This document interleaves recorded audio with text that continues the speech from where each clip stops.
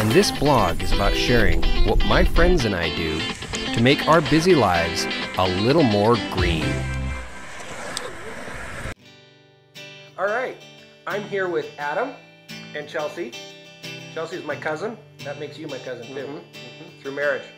And I'm gonna ask them the question: What did you do today to help the environment? Who's talking? Chelsea. Take Chelsea. it away, Stevenson. Uh, so I decided today to look into uh, replacing my asphalt roof with a energy efficient metal roof. Good deal. What he said. What he said. And it's one of our sponsors for Real Green World. So shout out to Kassel and Irons, one of our sponsors. It's going to be really cool. We're going to do an episode in a few months with these guys because they're doing some cool things to save on embedded energy. So keep watching. Thanks for what you guys are doing for the environment. And we'll talk to you later. Awesome. So ask yourself, what can I do to be a little more green today? And subscribe now to our YouTube channel. Thanks for watching.